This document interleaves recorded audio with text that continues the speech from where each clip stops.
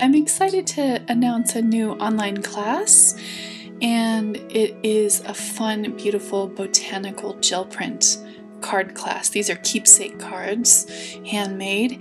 We have a few special tools we'll pull out, and if you don't have those tools, it's fine. A lot of the supplies you can find already in your studio, your craft room.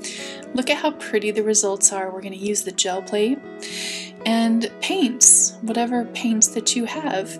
I'm going to show you a few different fun ways to embellish your cards to make them really special, even frameable if you like.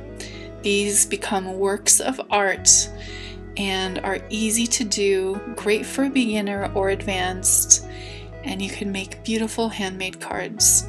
I'm going to show you some ways to finish them off so they're very special. And sign up at heathermaderartclasses.thinkific.com for more information and have a beautiful day.